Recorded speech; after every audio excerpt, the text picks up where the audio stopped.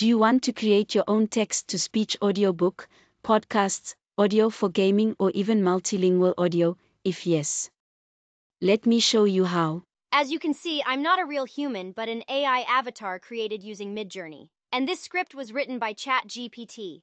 The video, on the other hand, was created with DID.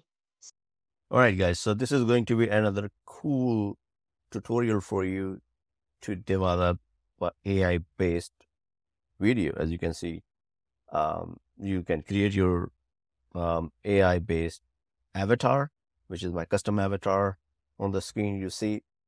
And I did create in my last video of um, audio voiceover uh, using uh, 11 lab.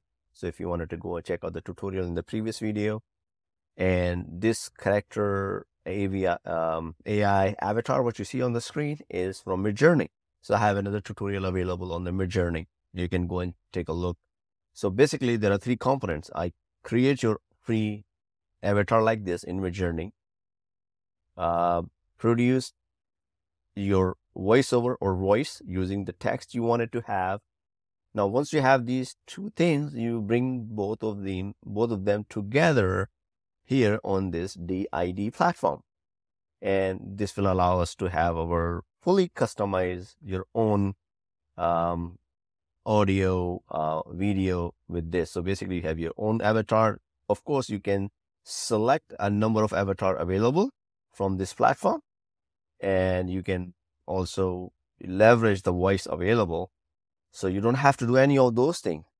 But if you see those avatars that are available, more of um, professional trainings. So here you can leverage one of these avatar. If not, then uh, what I'm going to use here, upload the audio, which I did. We have to select the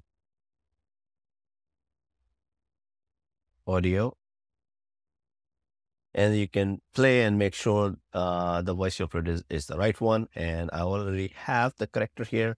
I'll simply generate. So which I already generated the uh, character here. Uh, I can do it. But if you wanted to have a script, you can create type the script here. You select the language. There are so many languages available, so many voices available. So depending, you can leverage this tool. But again, if you want to bring your own avatar, your customization, your cartoon characters, your, you know, it can be anything which you don't find here. Basically, that's the idea. And then you should be able to create your um, AI video here. So I have just uh, downloaded one, so I'll run it again for you.